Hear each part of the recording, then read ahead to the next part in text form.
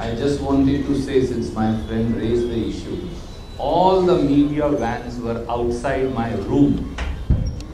So I therefore said that we have nothing to hide, please come. So I told Dinesh Bhai, we are going to have a meeting. And when we came, I think some of you slipped, we also slipped because the cameras come onto your face. That's why I said, please call them. It's good to always talk to you and have an interaction. Uh, PCC President Shri D.K. Ji, Chief Minister Shri Siddaramaiah ji, our General Secretary Organization K.C. Venugopal ji, and myself today had a detailed meeting on the preparation of the for the ensuing parliament elections. Karnataka is at the center point of Congress party's strategy for parliament elections. We believe, and both Chief Minister and PCC President have assured the party that they are going to give, that people of Karnataka are going to bless with a 20 plus number in the Lok Sabha polls. We in fact hope to completely sweep the polls and raise the number to about 25 plus seats. And the process of identifying the parliamentary candidates must begin without any delay. I am myself going to start touring uh, different parliamentary constituencies after the three, after the five state polls that are going to get concluded by end of this month. We definitely hope that the Congress guarantees which have been decisively implemented and are resolved fulfilled to people of Karnataka that will ensure victory of the Congress party in the Lok Sabha polls.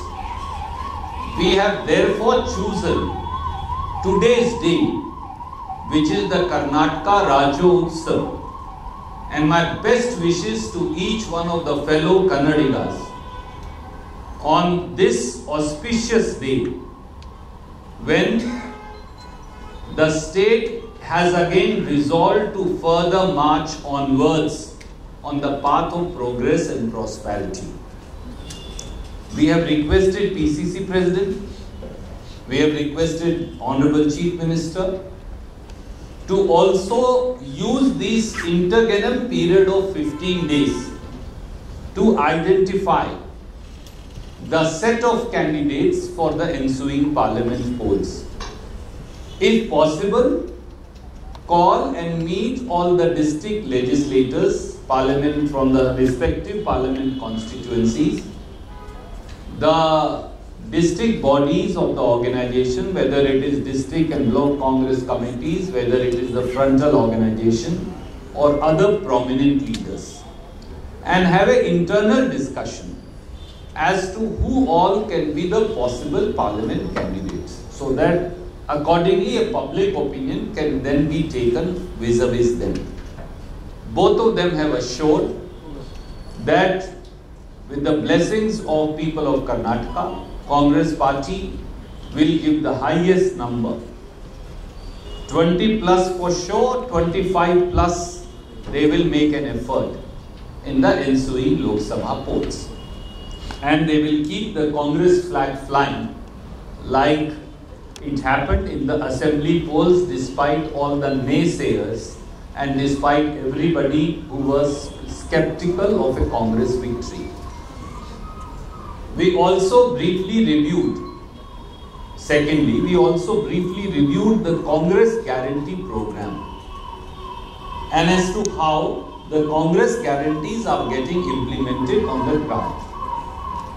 They have pointed out that regular audit is going on and wherever there is a deficiency, the concerned minister and ministry are addressing those issues so that maximum beneficiaries are covered, particularly belonging to SC, ST, OBC, minorities, women and youth. And we will continue to ensure and constantly monitor implementation of the Congress guarantees.